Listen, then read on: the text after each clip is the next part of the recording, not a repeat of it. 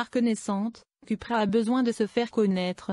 En installant le bouillant 5 cylindres des Audi RS sous le capot du nouveau Formentor, il se crée en 2022 un modèle d'image à l'ancienne. Certains réflexes du monde d'avant ont du bon. En attendant son horizon électrifié avec son modèle compact borne, Cupra s'autorise une bouffée de nostalgie en offrant au Formentor une nouvelle version, sportive exclusivement thermique et plutôt explosive.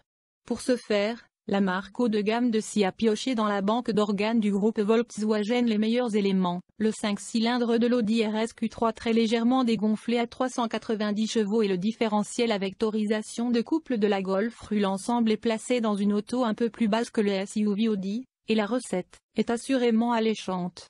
Elle sera limitée à 7500 exemplaires au total. En cette époque de chasse au CO2, il faut savoir raison garder. Esthétiquement, le VZ5, rabaissé de 10 mm s'offre évidemment un traitement spécifique.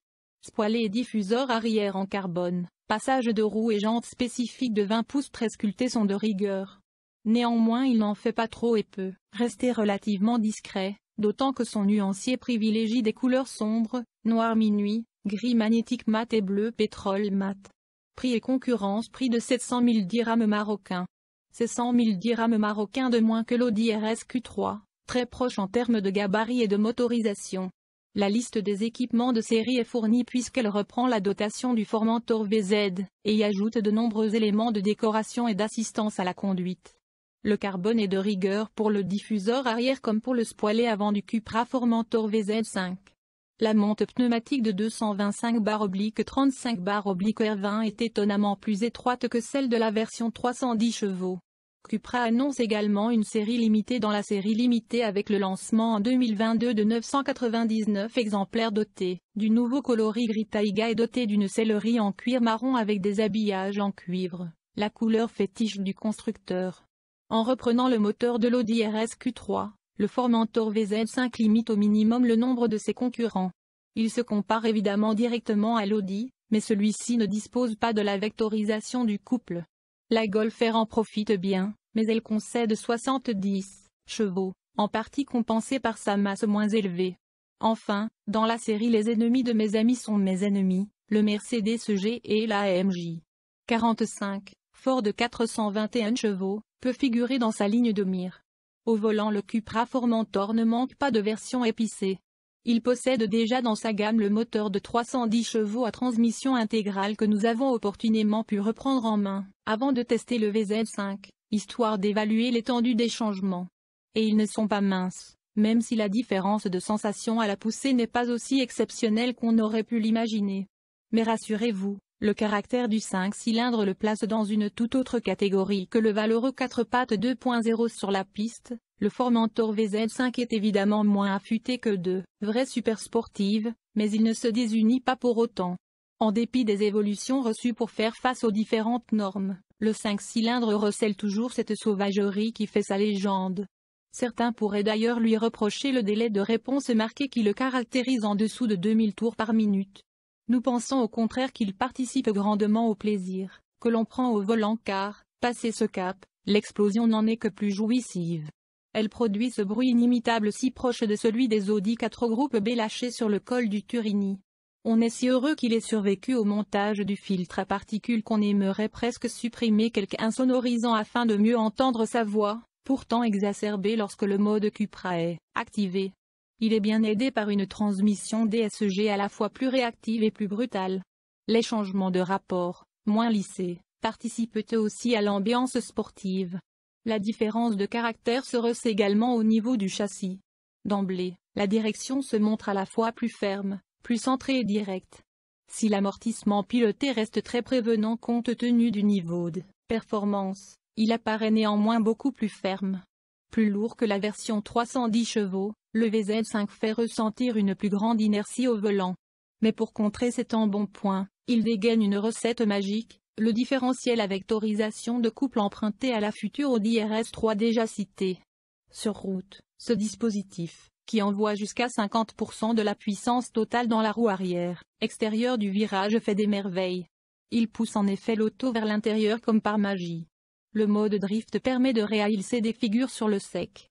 Pas sur route ouverte évidemment. Le freinage du Formentor VZ5 est renforcé grâce à des étriers à 6 pistons. Il offre un excellent mordant. Même en mode Cupra, le plus sportif, les aides à la conduite veillent cependant fermement à éviter tout excès. Il apparaît ainsi difficile dans ces conditions de faire dériver l'arrière. Sur route. Car sur circuit le VZ5 dévoile sa seconde martingale, le mode de drift, que nous avons pu mettre à l'épreuve sur une surface sèche glissante. Il réalise alors les figures les plus spectaculaires avec une facilité déconcertante, si l'on résiste à la tentation naturelle de lâcher brutalement l'accélérateur lorsque la dérive démarre. Pour le reste, le Formentor VZ5 reste capable d'une grande civilité quand on désactive le mode sport. Le bruit se fait encore moins présent, la suspension plus souple, et il retrouve des réflexes de voiture moderne. Ces aides à la conduite s'avèrent assez intrusives, y compris pour afficher des échos-conseils en grand sur l'instrumentation numérique. Voilà qui est assez incongru pour un modèle capable d'engloutir plus de 20 litres 100 km en conduite sportive.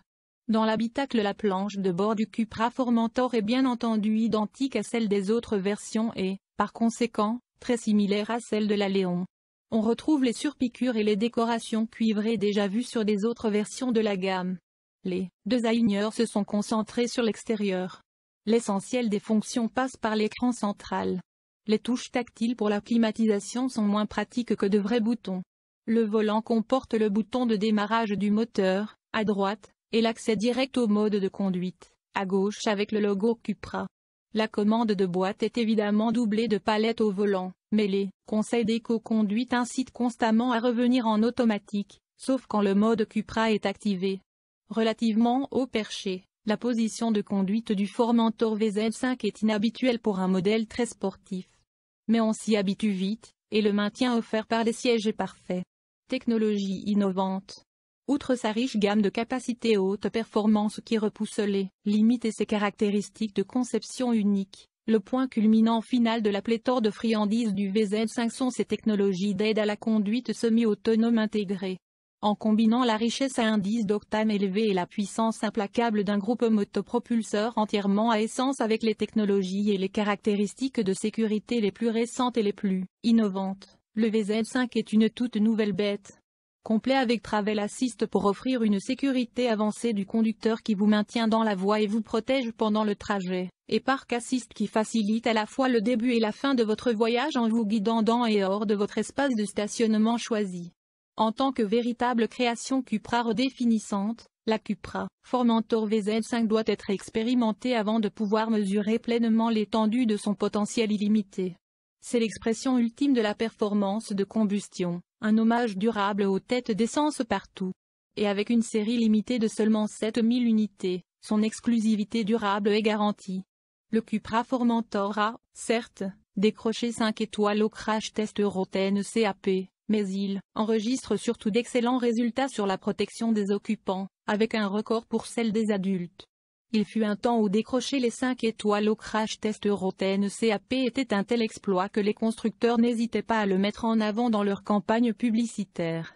Aujourd'hui, cette note semble quasiment acquise, à quelques exceptions près, et les marques n'en font plus un argument marketing. Toutefois, Cupra pourrait bien le faire sous peu pour son Formentor. Le Cupra Formentor excelle sur la protection des occupants, le Formentor obtient un taux de réussite de 93% pour la protection des adultes et un taux de réussite de 88% pour la protection des enfants.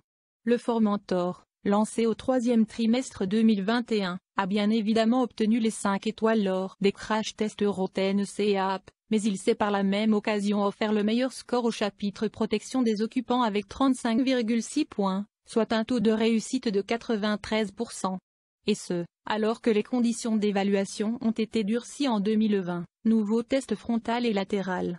La mise en place d'un airbag central a permis de minimiser les blessures lors d'un choc entre les passagers avant. L'auto se montre également très prévenante envers les enfants, avec une note maximale de 43,6 points, soit un taux de réussite de 88%. Concernant la protection des autres usagers de la route, piétons et cyclistes, le SUV espagnol reçoit une note de 36,9 points, correspondant à un taux de réussite de 68%. Si le bouclier et le capot ne sont pas à mettre en cause, les montants du pare-brise s'avèrent beaucoup plus dangereux envers ces usagers vulnérables, et notamment pour leur tête. Enfin, grâce à ces systèmes d'aide à la sécurité active ou passive intégrés, l'auto obtient un taux de réussite de 80% 12,8 points. Le Cupra Formentor n'a pas été le seul modèle testé lors de cette session.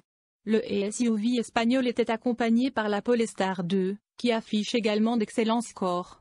Dans tous les domaines, l'auto atteint ou dépasse très largement les 80% de taux de réussite, protection des adultes, 92% protection des enfants, 89% protection des usagers vulnérables de la route, piétons, cyclistes, 80% système d'aide à la conduite, 86%